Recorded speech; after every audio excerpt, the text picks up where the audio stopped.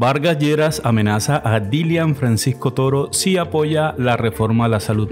No cabe duda que la reforma a la salud es la mina de oro que en Colombia todos los políticos quieren manejar y que Petro y la ministra Corcho han defendido a capa y espada. De ahí que los partidos tradicionales estén negociando su apoyo, incluyendo cambios que mantienen el status quo del sistema de salud actual. Hoy se evidenció mucho más cuando Vargas Lleras amenazó a Dilian Francisco Toro con quitarle el apoyo en sus aspiraciones a la gobernación del Valle si respalda la reforma.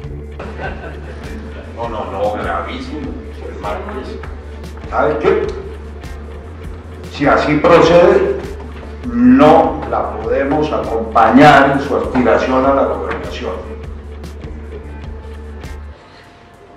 Nos cueste lo que nos cueste, tiene que pagar el precio.